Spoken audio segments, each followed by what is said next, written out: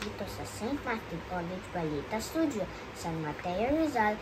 Ihatid namin sa inyo ang mga nagbabagang balita na nakalap ng SMC News and Public Affairs.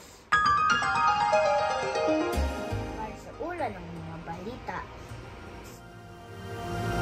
pagpakita ng magandang ugali sa pamilya o kapwa noon at ngayon na ipamalas pa rin ng mga kabataang Pilipino.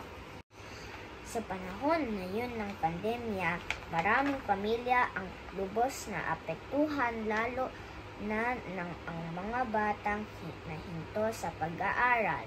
Makikitang may mga kabataan pa rin na nakaisip gumawa ng paaran upang makatulong sa kapwa lalo na nasa mga kabataan tulad nila na, na nais pa rin ipagtu, ipagpatuloy ang pag-aaral.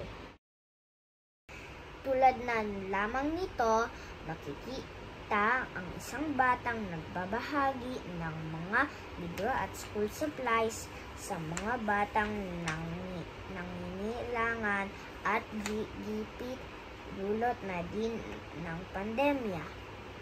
Isa ng, ng mga bata ang nakaisip tumulong, mag-ayos at mamigay ng mga pagkain sa mga frontliners natin upang ipakita ang suporta at pasalamat para sa mga sakripisyo at hirap sa pag-aalaga sa mga may sakit, lalo na ang mga nahawahan ng virus na COVID.